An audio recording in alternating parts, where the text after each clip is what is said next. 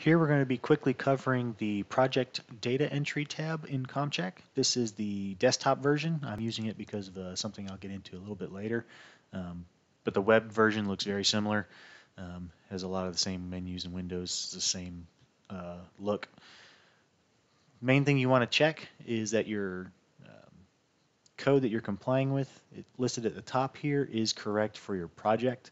Um, to change it, you click on the code menu here.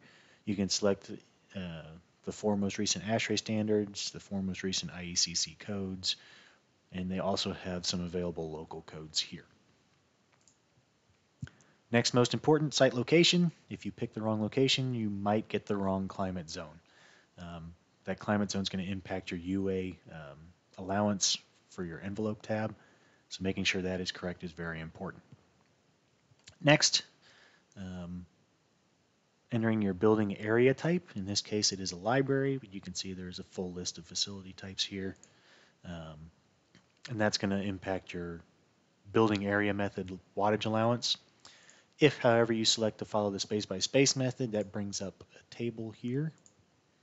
That table will allow you to select various um, area types, and that gives you a little more flexibility over your interior lighting data entry. Uh, but we'll go back to the building area method just for simplicity on this uh, review. Um, there's not much difference between data entry for those. Exterior lighting, you select your exterior lighting zone. This is the zone 1 through 4 table that is in the IECC.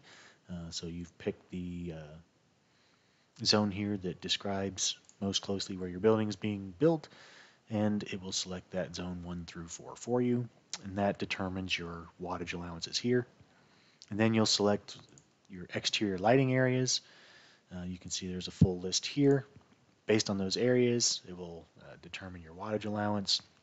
It will also, helpfully, uh, show you here whether those are tradable or not. So you can, if you go over your wattage allowance here, you can bump some of that overage here. As long as the total wattage allowance for these two together is less than uh, what's calculated, um, you'll be in compliance. For these, these are not tradable, so if you go over the allowance for this, uh, your exterior lighting will show non-compliance down here. Some things to note, most of this information over here is just informational for the code official.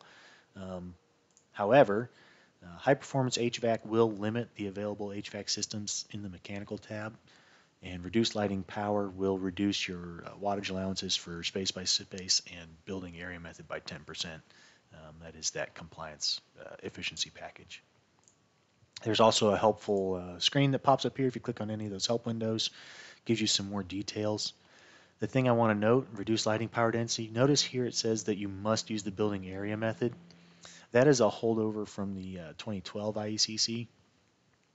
That is not a limitation for the 15 and 18 IECCs, except on the web version.